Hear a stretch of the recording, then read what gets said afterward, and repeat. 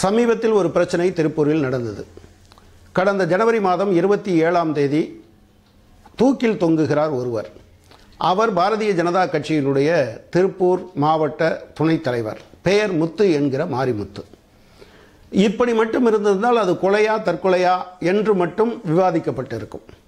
ஆனால் இது தூக்கில் தொங்குவதை பார்த்தவுடன் இயல்பாக எல்லோருக்கும் வருகிற கவலை அது பாரதிய ஜனதா கட்சியினுடைய தலைவர்கள் இது ஒரு கொலையாக இரு கொலையாளிகளை பிடிக்க வேண்டும். இது ஒரு கொலை என்கிற முறையில் அவர்கள் வர்ணித்தார்கள்.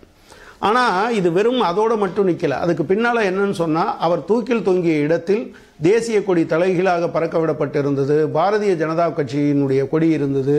இந்து முன்னணியுடைய கொடி இருந்தது பிரதமர் மோடி அவர்களுடைய படம் இருந்தது இவற்றிற்கு செருப்பு மாலை போடப்பட்டிருந்தது.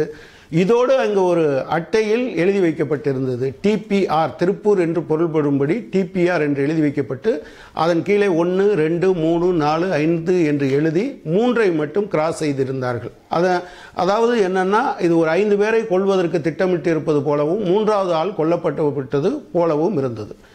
இது உடனடியாக ஒரு கொலை என்று பேசப்பட்டது.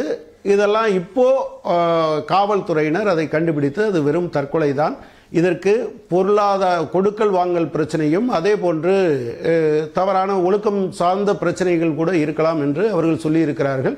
காவல்துறை அதை கண்டுபிடிக்கட்டும். ஆனால் அதை விட முக்கியமாக கண்டுபிடிக்கப்பட வேண்டிய ஒரு அம்சம் இருக்கிறது. ஒருத்தர் இறந்திருக்கிறார். அதை பார்த்தவுடன் அந்த இறப்புக்காக வருத்தப்படுவதை விட மத அல்லது அரசியல் மோதலை உருவாக்குவதற்காக அந்த இடத்தில் தேசிய கொடியை தலைகீழாக பறக்கவிட்டவர்கள் யார்? இந்து முன்னணி கொடியையும் பிஜேபி கொடியையும் பிரதமர் மோடியினுடைய படத்தையும் வைத்து செருப்பு மாலை போட்டவர்கள் யார்? DPR one two three four five என்று எழுதி மூன்றை கிராஸ் செய்தவர்கள் யார்? இவர்களுடைய நோக்கம் என்ன? இது மிக வெளிப்படையானது. பல இடங்களில் பாரதிய ஜனதா அல்லது சங் பரிவார் அமைப்புகள் இது போன்ற விஷயங்களை எப்படி பயன்படுத்துகிறார்கள் என்று புரிந்து கொண்டோம் என்றால் அது சரியாக இருக்கும். கடந்த செப்டம்பர் இருபத்தி மூன்றாம் தேதி இன்னொரு சங் பரிவார் அமைப்பினுடைய சசிகுமார் என்கிற இளைஞர் கோயமுத்தூரில் படுகொலை செய்யப்பட்டார். ரொம்ப இளம் வயது அவர் படுகொலை செய்யப்பட்டது கண்டிக்கத்தக்கது அதுவெல்லாம் ஒரு பக்கம். குற்றவாளிகள் கண்டுபிடிக்கப்பட வேண்டும். ஆனால் அதே சமயத்தில் இருபத்தி மூன்றாம் தேதி முழுவதும் சங் பரிவார் அமைப்புகள் கோயமுத்தூரினுடைய ஒட்டுமொத்த கட்டுப்பாட்டையும் தங்கள் கையில் எடுத்துக்கொண்டார்கள் என்பது உண்மையா இல்லையா? பல கடைகள் சூறப்பட ஆடப்பட்டதா இல்லையா? பல வாகனங்கள் தாக்கப்பட்டதா இல்லையா? சிறுபான்மையினருடைய பல சொத்துக்கள் சூறையாடப்பட்டதா இல்லையா? பல சிறுபான்மையினர் நேரடியாக தாக்கப்பட்டார்களா இல்லையா? இதற்கெல்லாம் யார் பொறுப்பேற்படுது ஏன் இப்படி ஒரு கூட்டம் இப்படி நடந்து கொள்கிறது? ஒருவர் இறந்து விட்டால் அதற்கு பதிலாக குற்றவாளி யார் என்பதை விட என்பது தெரிந்து கொள்வதற்கு முன்னாலேயே இவர்தான் குற்றவாளி என்று சொல்லி அதிலும் ஒருவர் அல்ல. அவர் முஸ்லீம் என்று சொன்னால் அவர்கள் முழுவதையுமே அடிப்பது என்று கிளம்புவது ஏதாவது நியாயம் இருக்கிறதா என்று நான் கேட்க விரும்புகிறேன். ஏன் இவங்க நடந்துக்கிறாங்க என்பதற்கு சங் பரிவார் அமைப்பினுடைய உள்ளுக்குள் இருக்கக்கூடிய பிரச்சனை காரணமாக இருக்கிறது. அவர்கள் எப்படி வளர்த்திருக்கிறார்களோ அவர்கள் இப்படி வளர்ந்திருக்கிறார்கள். உங்களுக்கு நினைவு இருக்கும்னு நினைக்கிறேன். நம்ம பலதை மறந்து கடந்து கடந்து போய் விடுகிறோம்.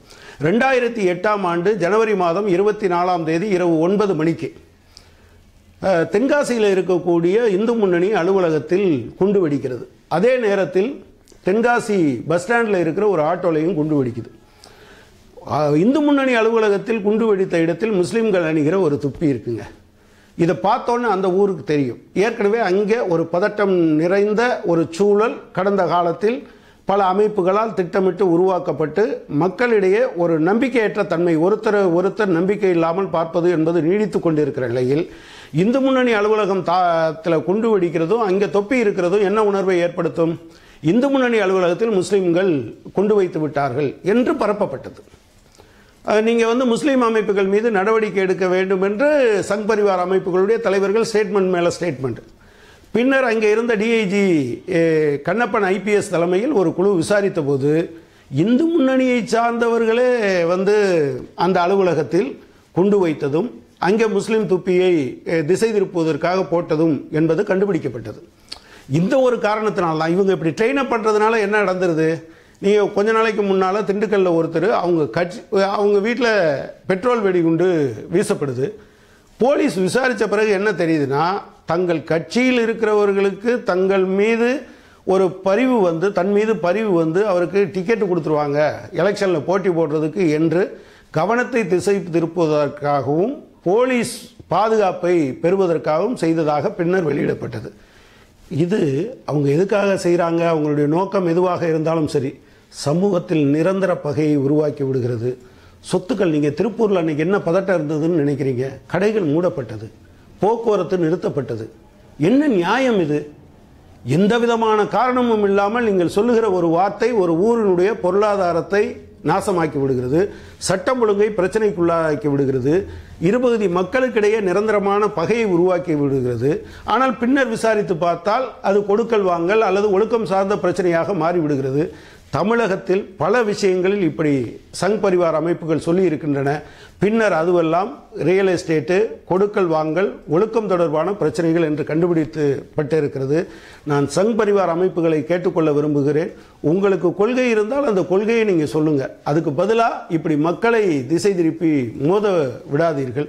பாரதி ரொம்ப கோபத்தோட சொன்னான் தெய்வம் பல பல சொல்லி பகை தீயை வளர்ப்பவர் மூடர் என்று. அது பல தெய்வத்தை சொல்றதுக்கு சொல்லலை. அதோட சேர்த்து ஒன்று சொன்னான் பகை தீயை வளர்ப்பவர் சொன்னான். அப்போ அதுக்கு காரணம் நீங்க அதெல்லாம் உங்க செயல்பாட்டில் வெளிப்படும் என்று சொன்னால் தமிழகம் ஒரு நல்ல மாநிலமாக இருப்பதை கெடுப்பதாக மாறிவிடும். தயவு செய்து இனிமேலாவது இந்த மாதிரி அவசரப்பட்டோ அல்லது உள்நோக்கத்தோட சொல்லுகிற இந்த மாதிரியான அம்சங்களை நீங்கள் கைவிட வேண்டும் என்று கேட்டுக்கொள்கிறேன். தமிழக மக்கள் குறிப்பாக சங் பரிவார் அமைப்புகள் இத்தகைய மதச்சாயம் அல்லது ஜாதி மோதல் என்கிற நோக்கத்தில் சொல்கிற வார்த்தைகளுக்கெல்லாம் உண்மையை கண்டறிந்து மிகுந்த எச்சரிக்கையோடு இருக்க வேண்டும் என்று கேட்டுக்கொள்ள விரும்புகிறேன். ஆன்லைன் பிஏ சப்ஸ்கிரைப் பண்ணுங்கள் தேங்க்யூ